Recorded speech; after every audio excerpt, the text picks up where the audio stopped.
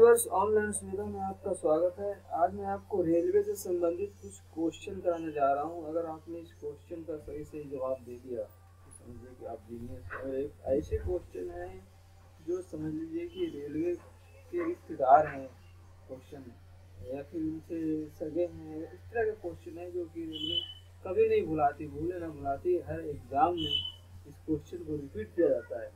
तो आप देखेंगे क्वेश्चन में कुछ अच्छे क्वेश्चन है। अगर आपने इसका सही सही जवाब दे दिया तो आप समझ लीजिए कि आप जीनियस हैं। तो आप ध्यान दीजिए इस क्वेश्चन पर। और मैं आपको इस क्वेश्चन के लिए चलता हूँ।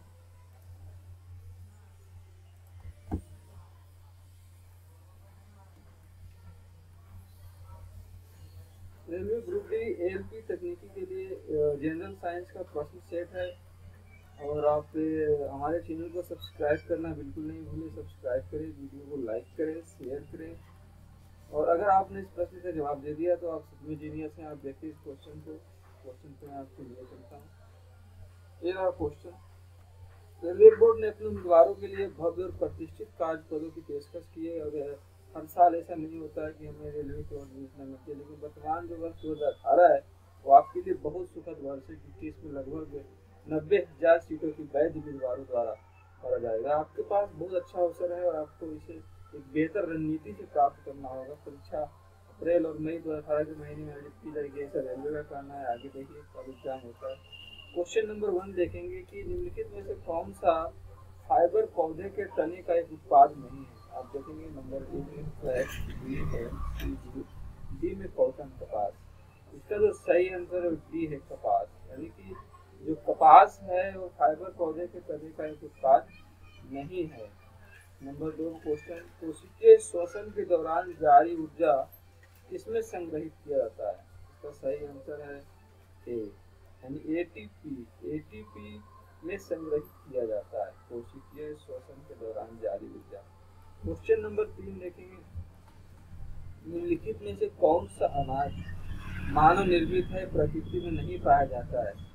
इसका आंसर है सी यानी कौन सा ऐसा अनाज है जो मानव है प्रकृति में नहीं पाया जाता है?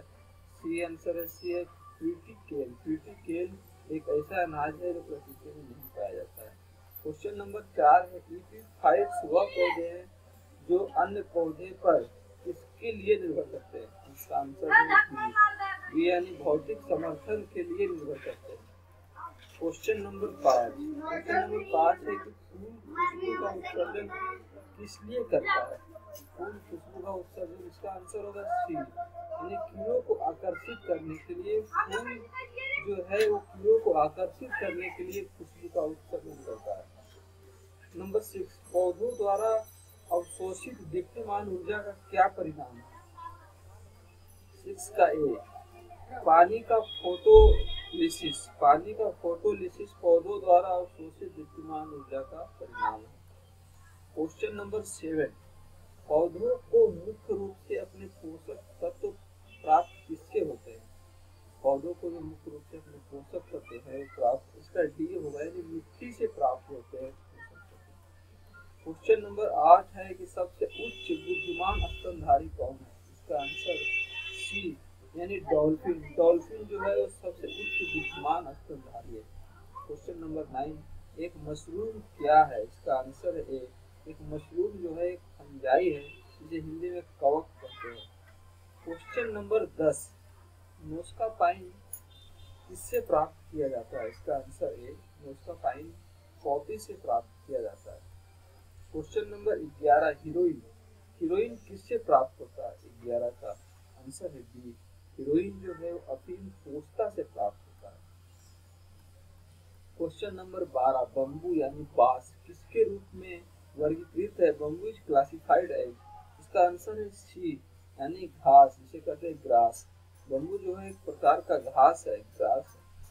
क्वेश्चन नंबर तेरह वंशनगत लक्षण किसके द्वारा प्राणियों के वंशज में स्थानांतरित होते हैं? इसका आंसर है बी। बी यानी क्रोमोसोम। वंशनगत जो लक्षण होते हैं, जो हेरिडिटरी सिम्टम्स होते हैं, जो मोम होता है, वो क्रोमोसोम के द्वारा होता है। चौदह लिखित में से क्या सही मिलान नहीं है। सही मिलान आप देखेंगे ब्लू ग्रीन नीले हरे सवाल क्राइसोपा माओ control bio nine zero two इसका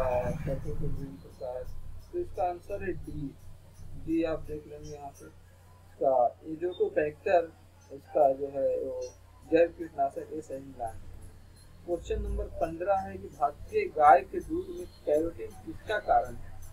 इसका आंसर है डी भारतीय गाय के दूध में कैरोटीन जो है, वो येलो कलर दूध में जो पीलापन होता है जो पाया जाता है।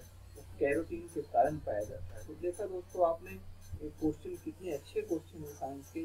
तो आपने इसका कितना सही सही जवाब दिया आप अपने आप को आकलित करें। अगर आपने ट्वेंटी परसेंट सही आंसर दिया है तो आप बहुत ही अच्छे कंडीशन में हैं और आपको तैयारी करने की और ज़रूरत है। तो दोस्तों, आपको हमारा वीडियो कैसा लगा, हमें कमेंट करके बताएँ। वीडियो को लाइक करें शेयर करें और हमारे चैनल को सब्सक्राइब करना तो बिल्कुल नहीं भूलें। सब्सक्राइब करें ताकि हमें ज़्यादा से ज़्यादा सपोर्ट करें आप और हम आगे भी आपके लिए ऐसे क्वेश्चन न्यूज़ एंड जो आपकी जो वैकेंसी आती है, उससे रिलेटेड वीडियो बनाकर आपके सामने